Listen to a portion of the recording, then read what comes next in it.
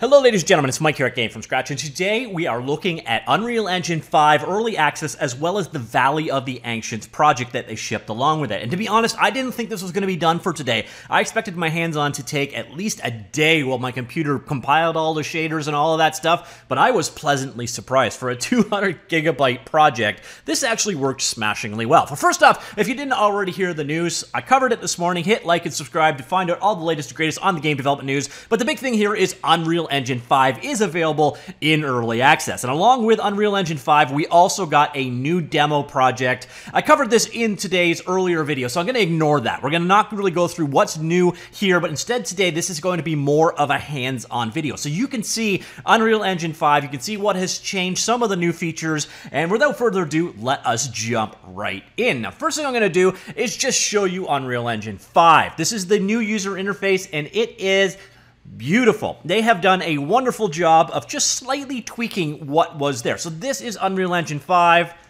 This is Unreal Engine 4. So I definitely like the new color change for sure. I like the streamlining of icons. You're going to see some of the like the small things that they've done here.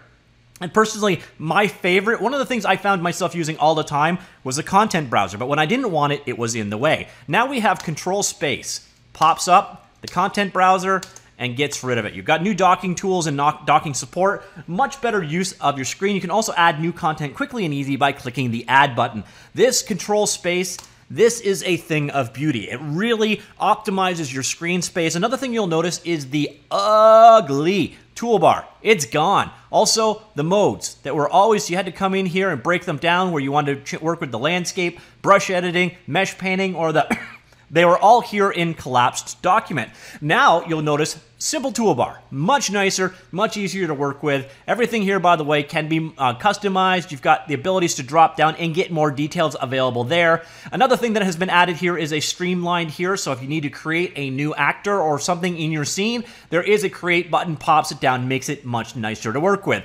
On the whole, this user interface is just so much, like it's the same basic thing. It's just this is cleaner. It, it's much, much nicer. Another thing that we're looking at right here right now this is the new Valley of the Ancients example. There is a ton in here. Uh, comes with a number of um, assets and such from um, there's some Megascan stuff in here. We got some of the new audio in there. We'll look at that in just a minute. Uh, the MetaSounds features and functionality. Uh, we got new animation tools in there, but we've also got some really cool stuff going on in this particular release. Let me get rid of that uh, control space.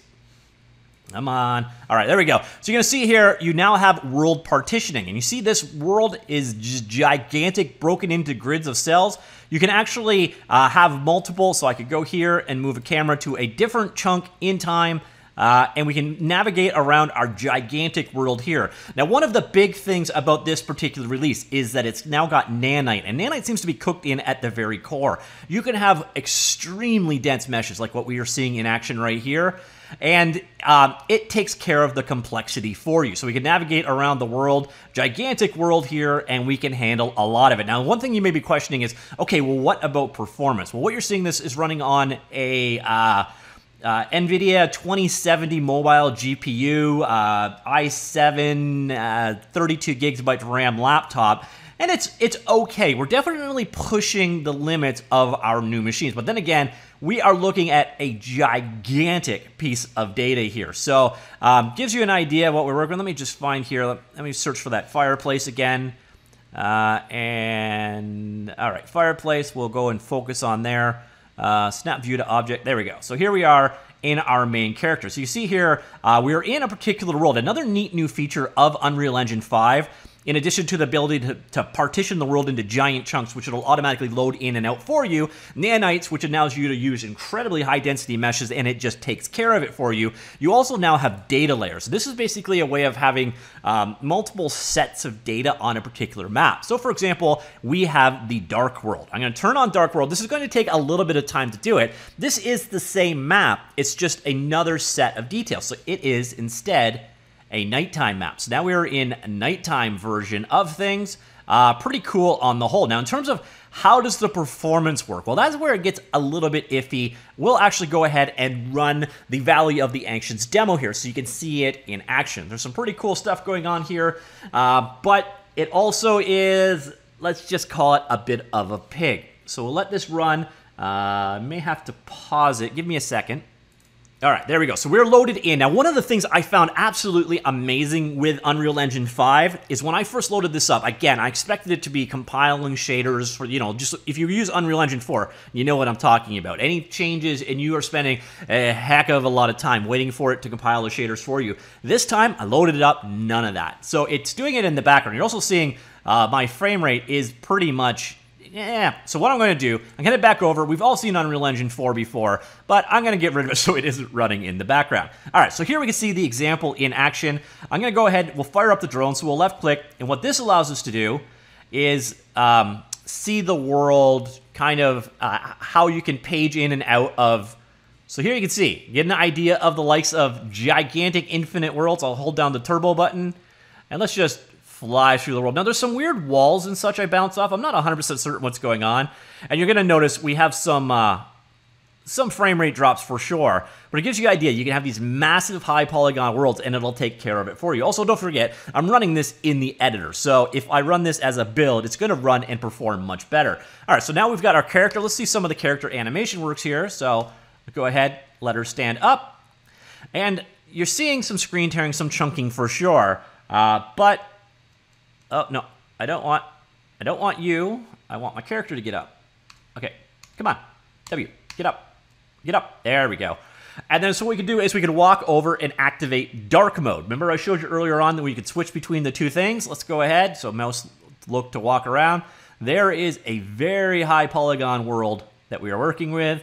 Now we're just going to go on over here. You're going to notice there's full walk animations and setup on this character. So if you want to learn any of those things, We'll go ahead and we'll interact with that. And the first time you do this, by the way, there is quite a loading chunk for it. But once you've done it, it's cached some of the data. So you can see here, uh, transitioning is going to take a while. This might be one of those points where you would have to throw a loading screen in your game. Uh, but again, I don't know what it's going to be like in build. But now we are in dark world mode. Same map, different version. This So this is where that new data layers is going to come in.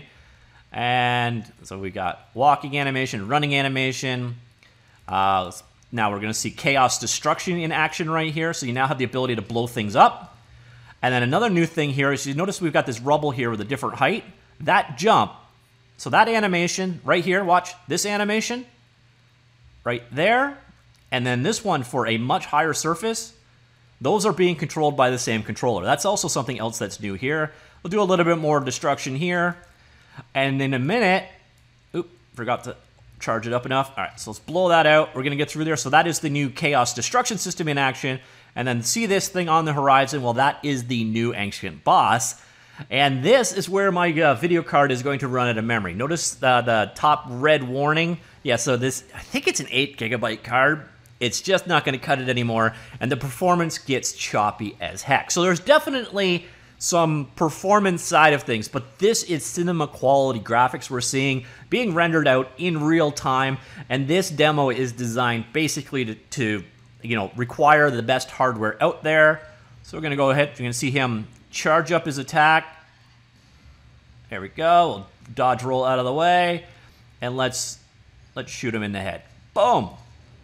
So that is the Ancients demo in action. Uh, so you can see it's a bit of a double-edged sword. The results are amazing. You can get an idea of what this project will do for you, but at the same time, uh, it is uh, resource intensive. Again, this is the first time 32 gigs of RAM and an 8 gigabyte video card just haven't cut it. But then again, for most of us, we are not going to be pushing these kind of polygon counts. It's one of those things just you know, for most people, it's not going to be uh, that level of detail in most games. So you're not going to magically have to get uh, an awesome new PC to make things work, uh, you, unless you are doing a uh, Mondo project of some kind. If you're doing uh, indie development work, you're going to be just fine with your existing hardware out there.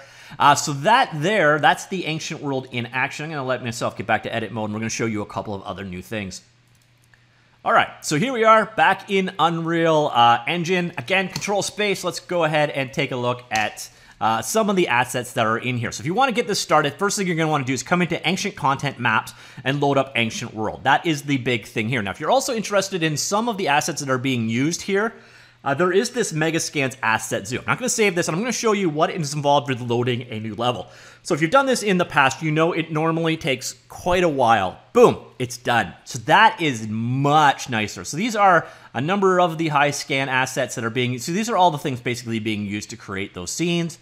Uh, if you want to go ahead and check them out, they are all available right here. But you noticed in loading that level, it was basically instantaneous. That is that is pretty awesome. So if you want to go check out various different renditions of our character and so on, all available right there. All right, so that is all of the assets being used in this scene, and that is how fast things go about loading, which again is pretty cool. And then we got down here, let's go take a look at some of the other stuff that's going on here. And I'm going to showcase in Ancient Battle uh, characters, the Ancient one. So this is the Ancient One, this is the character we just fought. Just come on in here. The blueprint for it is available uh, right here. I should be able to see him in action. Uh, why are you not there? Did I pick the wrong thing? I don't think so. Uh, anyways, we'll get out of there. I want to showcase it over here. So with that character, we're going to the animations. And here are a number of the animations that go together. Control that one. So for example...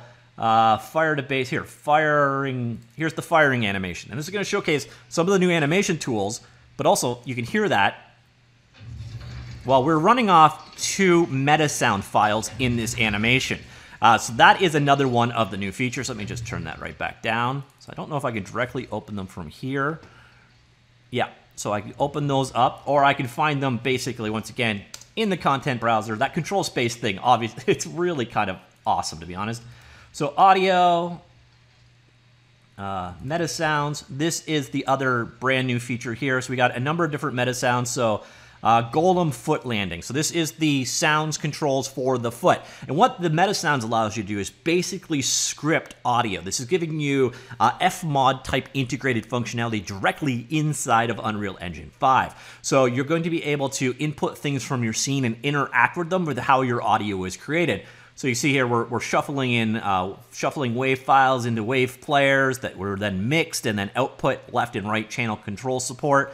Uh, and this is again controllable in the animations like we just saw a second ago. So those are animations being controlled in part of the timeline. Those animations are dynamic and they react to things in the scene. So Metasounds is brand new and quite cool. So there is a lot of stuff going on here. This is being lit by lumens. Uh, these uh, massive high polygon, let's just go in here and take a look at what we're dealing with here. These super, super high polygon, high resolution meshes. Uh, they are being just handled here by Nanite, so it's all kind of just Nanite's just sort of baked in. You just feed in really high resolution stuff, and Unreal Engine 5 takes care of it for you. You set up uh, real-time lighting, and um, Unreal Engine Lumens just takes care of it for you. You don't have to do light map baking. You don't have to really do LOD generation. It's going to be more of a creators create what they see and they populate it in the world. On top of that, audio experts are going to be able to come in here, use meta sounds uh, to create dynamic sounds that interact with the world. We have this nice, clean UI design. Again, this wonderful content drawer, which really changes the way you work with Unreal Engine. Uh, we've got new docking and changing support. It is a brilliant release. So there is so much to like here, and I think the thing that I like the most, I'm going to go ahead again and I'm going to load back that original level. So if you want to check that out, it's under Ancient Content, and then we'll go here and find Maps, Ancient World. So this is a gigantic map, and to load it, it takes opening, opening, and